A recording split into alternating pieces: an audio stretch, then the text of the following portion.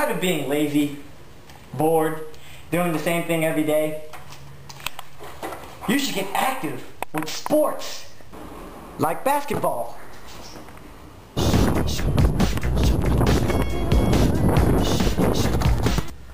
Or my all-time favorite, skateboarding.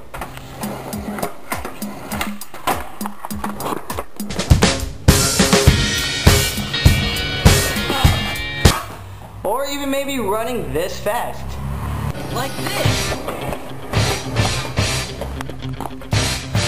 Yeah. Maybe even sparring with your friends. Yeah.